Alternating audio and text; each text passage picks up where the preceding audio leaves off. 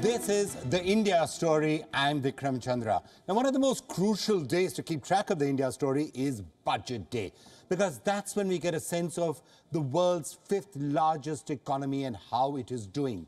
Today, Nirmala Sitharaman came out with a budget that seemed to be a bet on growth. The twin highlights big bang spending on infrastructure, which would kickstart investment, and some tax reforms, which would presumably encourage consumption by the middle class. Now, why is all of that important? It's important because consumption plus investment means growth. And if India remains the fastest growing economy in the world, all of that spending will end up paying for itself because as an economy grows, taxes go up. If taxes go up, it pays for the spending. It's a nice virtuous cycle if it works. And that's pretty much what the finance minister has bet on today in her budget. Now, we're going to look at all of those in some details. But first, let me just take you through some of the key highlights of the budget. 10 lakh crore rupees in spending for infrastructure. Defense spending is up too, but not as much as many had actually expected. But infrastructure spending has gone up. New tax slabs, especially in the new tax regime. In fact, the whole focus this time seemed to be to encourage people to new, move to the new regime. The new regime is actually going to be the default. You have to decide to stay in the old regime if you really want to. Tax exemptions are up sharply to 7 lakh rupees in the new uh, uh, regime. The maximum rate has also come down from 42.5% for the super rich to around 39%. So it's not just the middle classes who've got some relief, the super rich have got relief too. Those, that's for income above 5 crore rupees. But there are riders to all of this, as they always are. Insurance premiums above a certain limit of 5 lakhs will not get exemptions. Insurance company stocks fell partly as a result of some of that. and there are other changes as well. Market-linked debentures will now pay full tax. It will be charged as per your, your, uh, your uh, short-term tax rate, which is something which is uh, closing a loophole that has existed for a while. Senior citizens, though, get to invest more in senior savings schemes, and that is good news for them. Seven priority areas have got a spending boost, including the new economy. So that was, those are some of the major highlights that Nirmala Sitharaman had in the budget, and a lot more besides. Well, for a lot more on all of this, we're now being joined by one of the most respected industrialists in the country, Mr. T. N. Narendran is the managing director of Tata Steel, one of the largest steel companies in India. He's also headed CII. Mr. Narendran, thank you for joining us on the India story. How do you think this budget addresses what CII has been asking for, what you and industry have been asking for? What are the big ticket announcements today that you think are really going to have an impact on the Indian economy?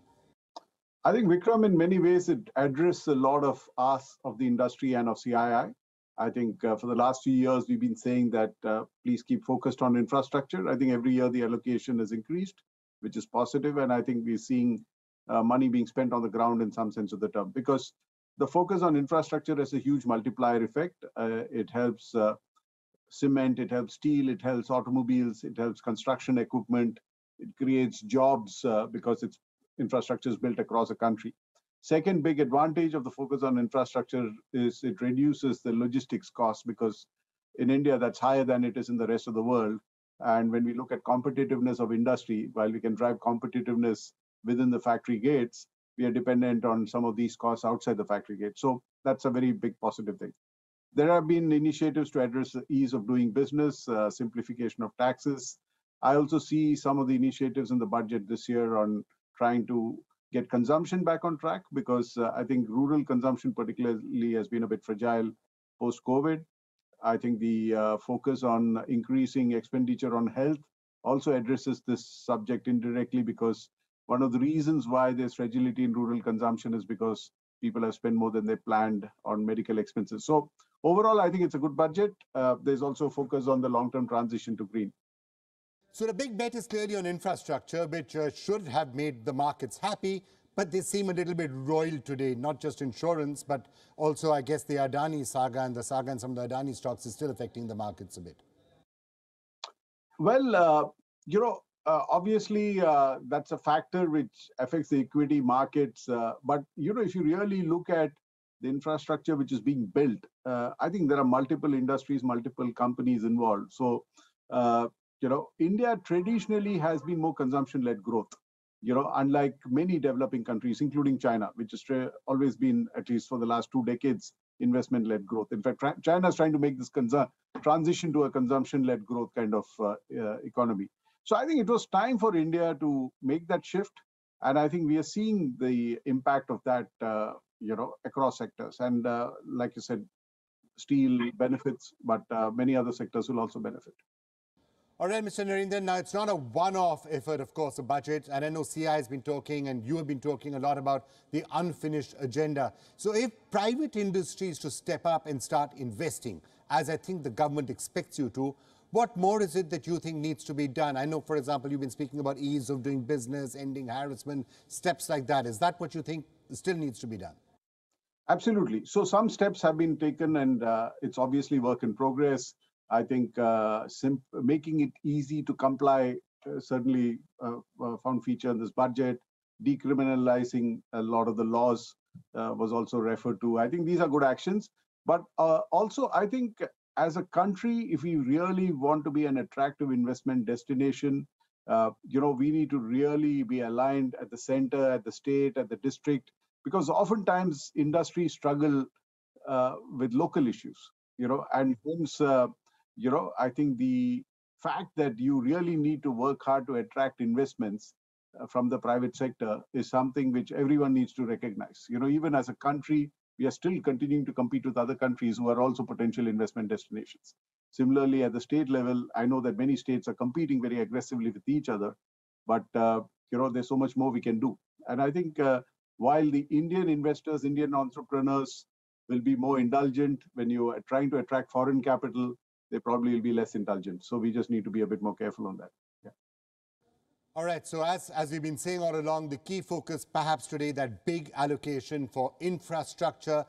And for more on that, we're now being joined by Naina Lal Kidwai, um, prominent commentator. She's been one of the leading industrial bankers, everything. Now, the banking sector, insurance sector looking a little bit nervous, I think, today, maybe because of some of those changes in insurance, uh, or maybe it's the Adani group. Uh, I don't know which one it is. What's your sense of the markets uh, overall and the, and the budget overall?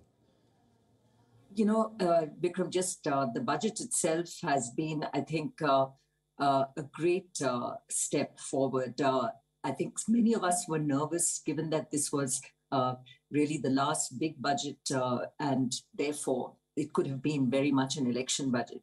But uh, looking at the numbers and talking to some of my economist friends, I think uh, there is a lot of credibility in the way the numbers have been put together. Uh, the fact that the fiscal glide path has indeed been adhered to uh, at 5.9, I think there was some hope that it would be 5.8, but 5.9 is quite acceptable and uh, commitment to get down to the 4.5, uh, as uh, you well know, by 2026. 20, uh, and doing all this while the growth and infrastructure and capex is not just maintained, but actually going up is a really a, a, very, very good step. Okay, so tell me how it's happened. Naina, that, that, wait, tell me how it happened because I hear a lot of people asking that question. So in direct taxation, percent taxation, 35,000, you know, given, uh, foregone, if you like.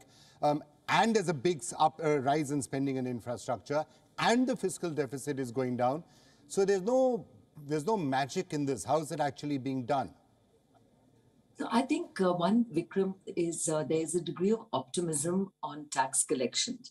And uh, we've had a very strong year in terms of uh, the collections, both the GST and direct uh, over this last year.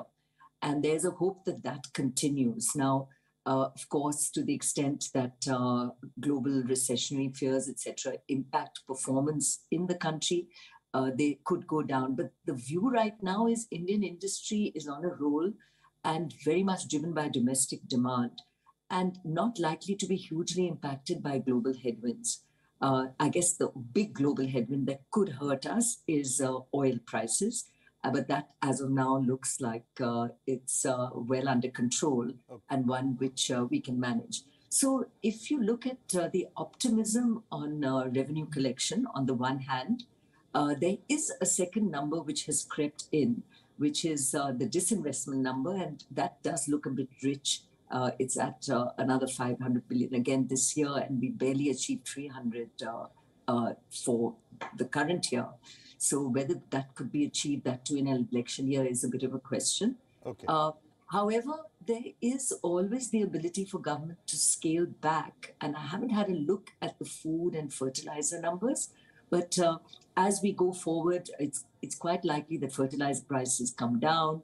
Uh, the subsidies that happened in fertilizer and food, uh, which were very large, uh, may give some leeway to ensure that we reach the fiscal deficit number as committed, despite Yeah. the high capex spend. So part of what you were saying was election year, a lot of people were expecting, you know, maybe some populist measures, what are sometimes called populist measures. This, for example, is what uh, an opposition uh, uh, leader, uh, Sh- Shashi Tharoor, told us just earlier in the day, saying a lot, he's really quite upset about the spending in areas like Eman, MNREGA.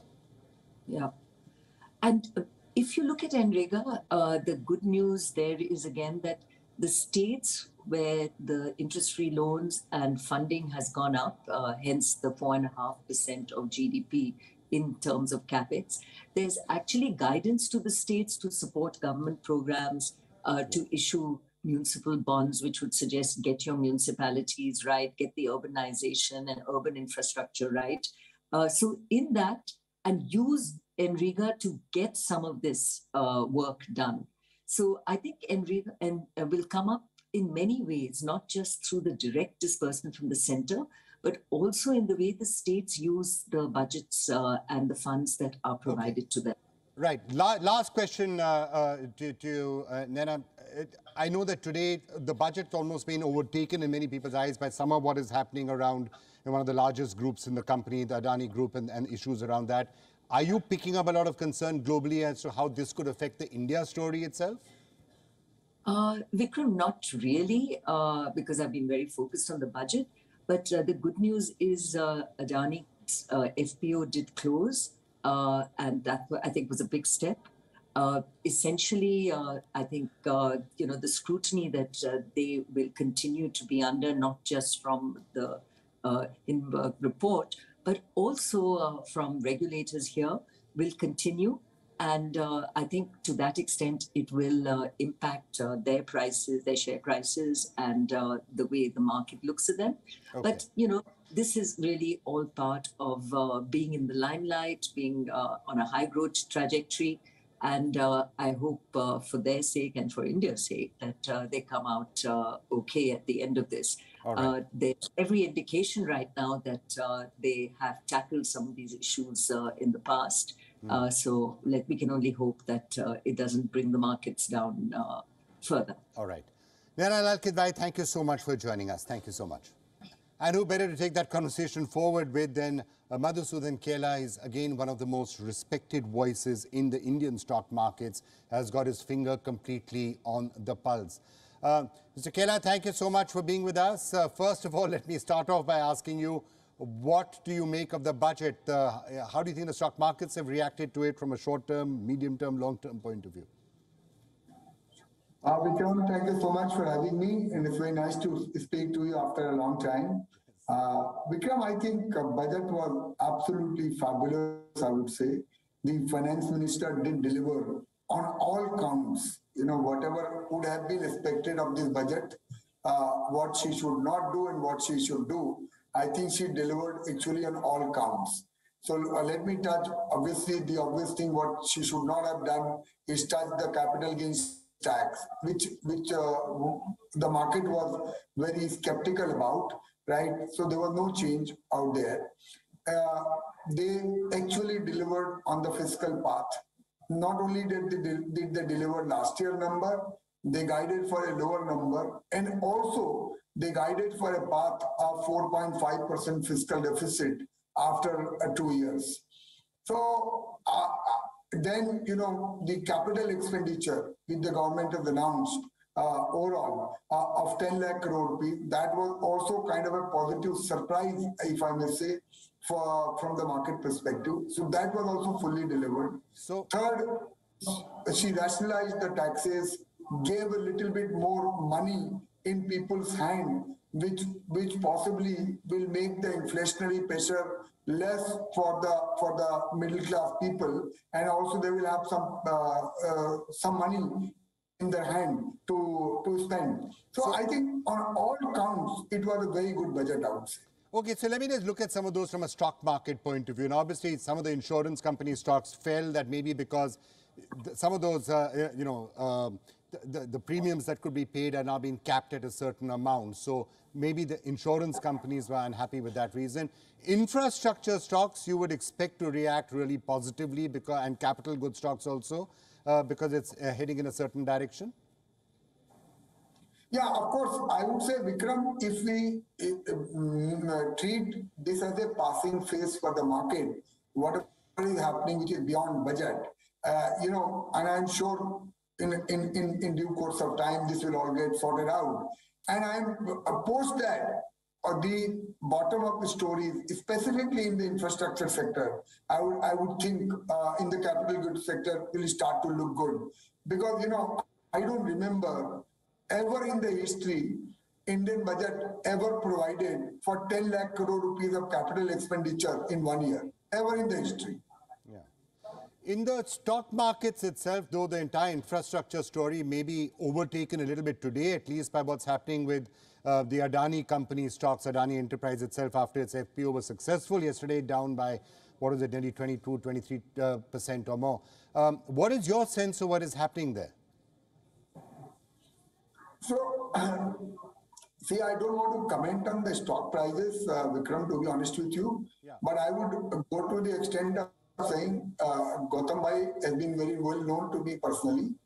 And he has shown exceptional capability in the past to tackle some of these issues. And also, they have shown excellent execution uh, in the past, right? They've managed to do so many acquisitions, they've been able to manage to consolidate. So, then I was saying, for India's sake and for his sake, I would, uh, uh, I would wish that uh, they overcome this short-term turbulence. And, uh, you know, because India definitely needs entrepreneur like him uh, to, to take the India story forward. All right. So you're, you're saying that it could be just short-term uh, turmoil out there. Turning to one other sector, I mean, of course, Adani stocks have been rising very sharply. The other sector which has been doing really well is defense and, you know, many defense stocks. Today, they were again under a certain amount of pressure. Today, is that because maybe they were expecting a more uh, larger amount of spending on, on, on defense? Yeah, also it's a combination of factor, uh, Vikram. You know, defense stocks had done so well, so there were a lot of expectations which were being built up. And typically, pre-budget, you know, all the defense companies, railways companies, they typically, you know, see that everyone knows that there will be good positive announcement, and we did not see anything in the defense today. So maybe a bit of uh, reaction to that. All right, fine. So any sectors you'd be particularly looking at, uh, um, uh Madhu Kela, and um, overall, are you hopeful that this is going to be a good year for the Indian stock markets? I would say overall, if you have a three-year view, then you should. This is good, interesting time to invest in equities. You need to buy selective shares. I'm more biased to buy shares in the financial sector, in the infrastructure sector. I'm more biased to, to ensure that I build a good portfolio which is linked to Indian economy and which is in linked to India growth story. And I have really no reason to doubt on India growth story uh, because of whatever is going on. I think this is this is a passage of time and it, it should settle down. All right, Madhu Kela, always a pleasure speaking to you. Thank uh, you so Vikram, much. I just want to I just want to say, you know, one thing that uh, you must run proper disclaimer that we obviously make a lot of forward-looking statements and people must consult their own investment advisor before acting on our advice. Madhu Kela, thank you so much for joining us, though. It's always a thank pleasure you, speaking to you and getting your sense thank of what's happening. All the best. Thank you. Thank you so much. So I have to tell you, one of the highlights of the programming today was we got the chance to have CII Chief Chandrajit Banerjee with us at the same time as we had the Sherpa of uh, for G20, Amitabh Kant. And we asked them, and they asked each other, what was the big picture message from this budget to take to the rest of the world? So what better way to end this program with than to play that particular segment out for you? My question, or uh, rather a comment uh, to Mr. Kant would be, he is the Sherpa, the G20 Sherpa, and uh, today, and that's a huge opportunity for India this year.